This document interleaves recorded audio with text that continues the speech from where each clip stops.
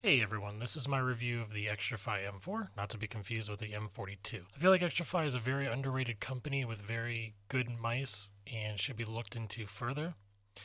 This is the ergonomic mouse. The ergonomic mouse has the very flat top here. You can see there's not much of a point to it at all.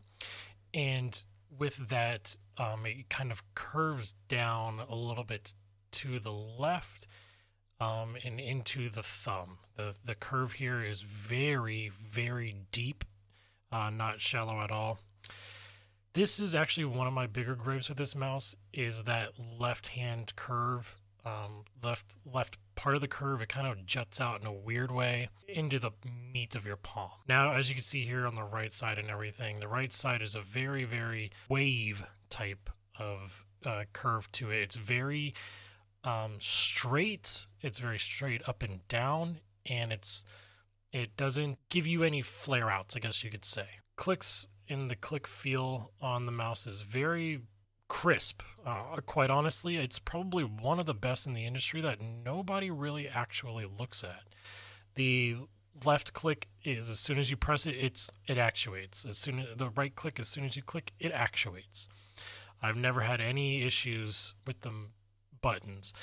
Now, mouse 4 and mouse 5 is kind of odd. Uh, mouse 4 and mouse 5 have uh, a little bit of pre-travel and post-travel to in the beginning they feel very very crisp they feel very very nice to push um, they honestly were probably one of the best um, buttons i've ever had but the more i started to think about it and, and you know, press them slowly and test them out and then start playing and pressing them, the more mushier they started to actually feel. The bottom side only has a DPI button and the polling rate.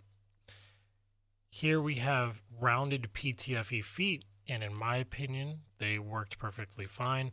The only gripe I do have with the PTF feet is they are the smaller feet. They are not the big type of feet that you get with like Vaxee um, so yeah, I feel like that kind of is unfortunate, but it's it's feet. so here we do have the uh, DPI, or you could say the CPI button. Um, the polling rate down here at the bottom.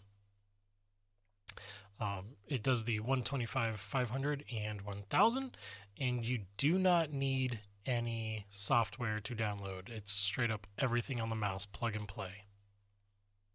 As you can see here, what we have on the box um, is all of the information. We have the 3389 um, sensor. We have the XTRFY Easy Cord. We have the polling rates. Um, we have the UV coated surface that is dust resistant and supposed to be water resistant. The button here um, behind the scroll wheel is actually for lighting effects.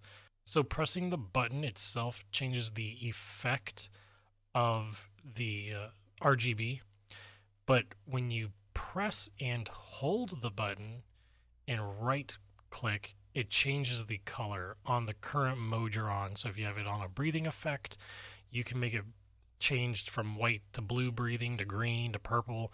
If it's like a, uh, I call it like the razor where it like shoots across really quickly or really slowly, you can change the colors from there. The cable itself is very, very easy to move. It's one of the better cables, in my opinion.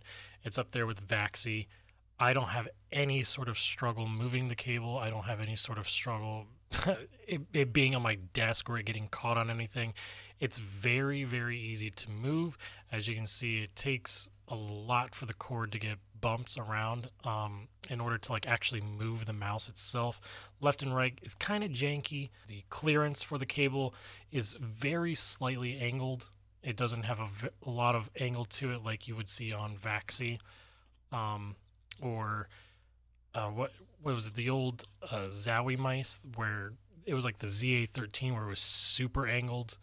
So it's it's there, but it's nothing crazy. Now we'll go ahead and do a click test.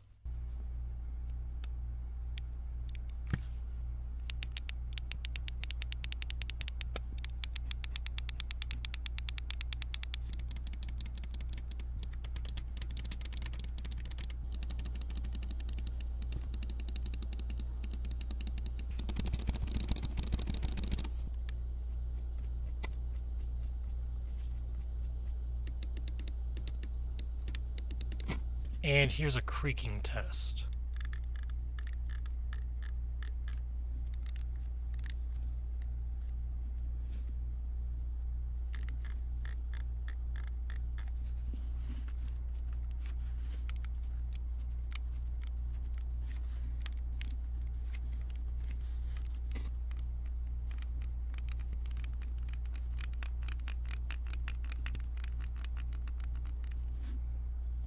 All in all, it's a B tier mouse. Um, the ergonomics are great on it. The only thing is that the little left hand side gets into in a weird spot on the meat of my thumb. So personally, it's not that great for me.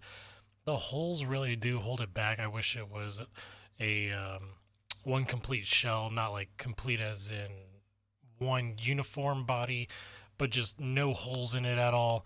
Um, 4K for those who enjoy 4K and everything, and um, the just durability, just the creakiness really holds it back. I feel as though if all of these were fixed, it would probably be an S tier ergo mouse and a 3395 sensor. But that's my take. That's uh, my XTRFY M4. Maybe mine is just a one off copy that got really, really creaky. But that's a, kind of why I didn't really go with buying a new XTRFY. Um, I was really interested in the MZ1 and the M42, but I had to kind of step away from XTRFY. Anyways, thanks for watching, and I'm out of here.